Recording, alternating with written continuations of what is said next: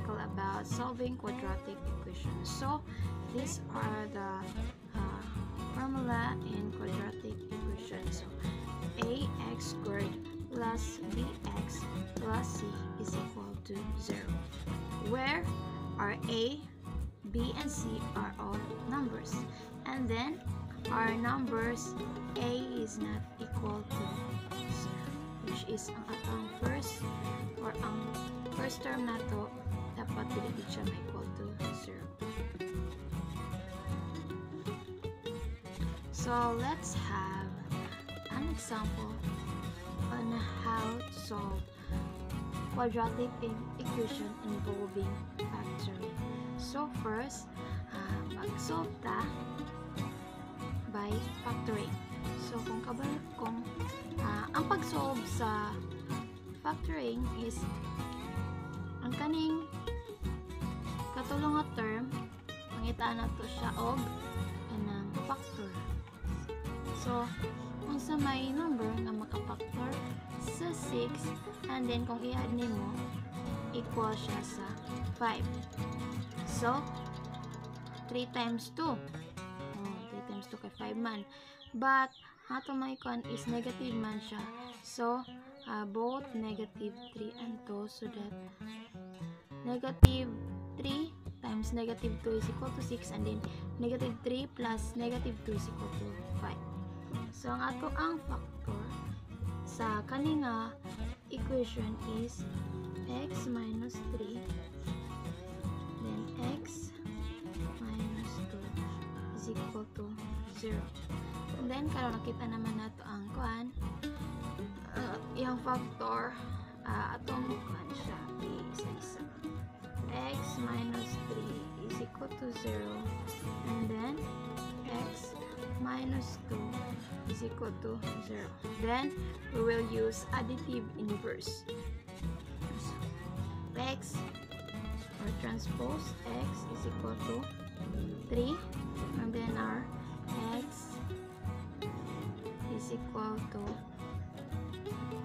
transpose 2 so these are all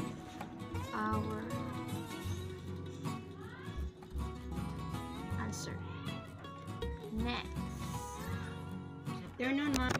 Next is completing the square. So our given is x squared minus 3x minus 2 is equal to 0. So first, uh, pag magkan ka completing the square, so siya siyang uh, i-transpose ang ato ang last term sa pikas na side. So, squared minus 3x but mag-remain taog space for uh, line nga term is equal to 2. Yan siya negative 2. Then, karon na, na, na, na siya sa pikas. So, ang atong kan is i-divide nato siya sa 2 and then i-squared. So, plus ato lang siya na guys. Squared. So, ina na. So, kung imo siya imo siyang i squared is equal to 9 over 4. So, pag human mo ana, dapat mas nindot siya nga dili sa siya nimo i-total para ma easily nimo ma-identify pag i-pan nato siya. So, pag i-factor na nato siya. So, x squared minus 3x plus 3 over 2 squared. So, ang pagkuha na para ma- ma-identify na to ang factoring is x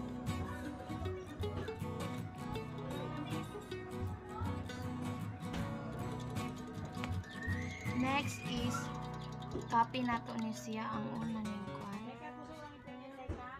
Sign. And then sunod nato ni siya i nato ang cluster. Then square. Is equal to 2 plus 9 over 4. So karon kuha na nato ang iyang factoring.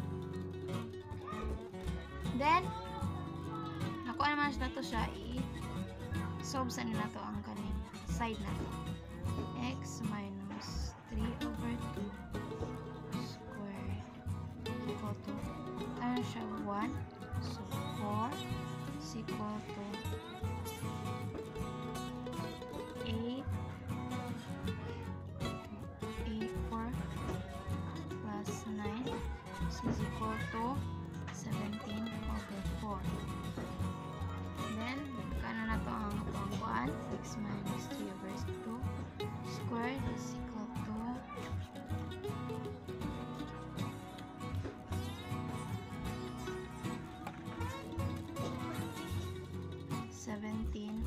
Four. Para ma cross out natin itong squared, na we will square both sides.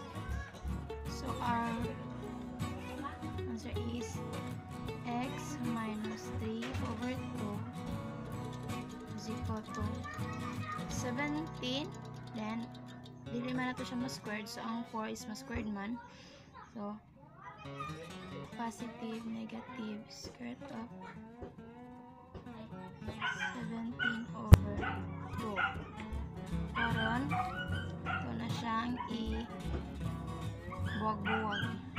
x minus 3 over 2 is equal to 17 over 2. So, let's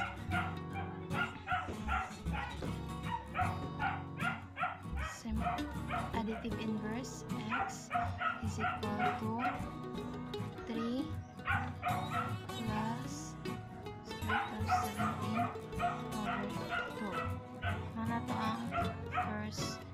answer. So, ang second answer is x minus 3 over 2 is equal to negative square root of 17 over 2.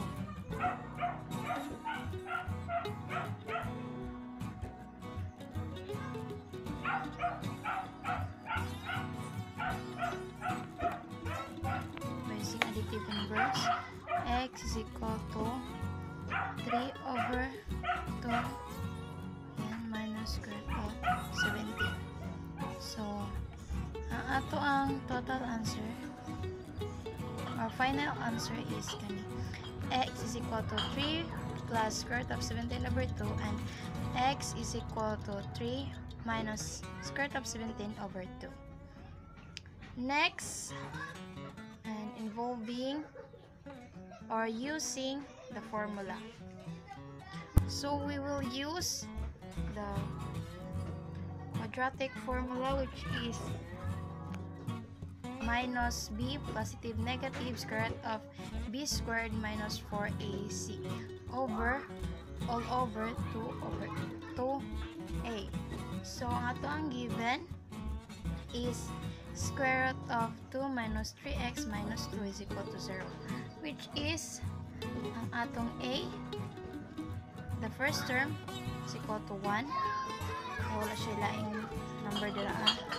And then ato ang b is equal to negative 3 and then our, our c is negative 2 so we will substitute our formula x is equal to RB which is negative 3 negative 3 positive negative square of negative 3 squared minus 4 1 our C is negative 2 all over 2 our A is 1 so we will simplify.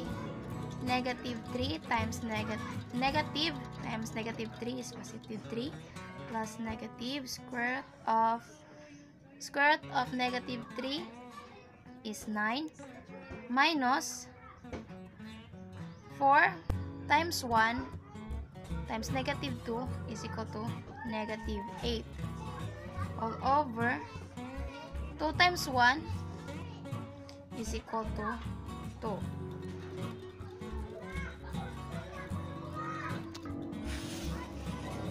So, 3, positive, negative, square root of negative minus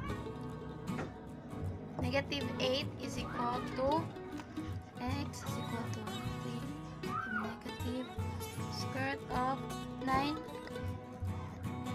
negative times negative is equal to positive 9 plus 8 is equal to 17 over 2 so our answer is x is equal to pa- 3 positive negative square root of 17 all over 2 thank you for watching and god bless